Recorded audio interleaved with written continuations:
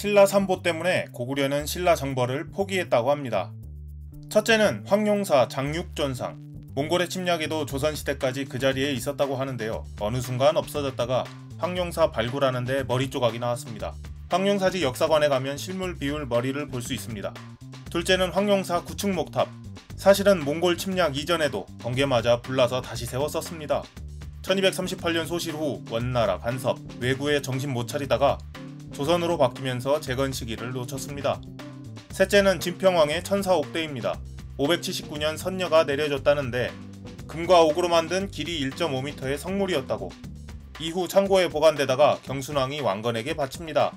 들리는 얘기로는 조선까지 전해졌다지만 행방이 묘연하다가 북한에 살던 왕건의 후손인 왕명찬이 1992년 9월 당국에 기증했다는데 공개가 안 되고 있으니 실체가 궁금하네요.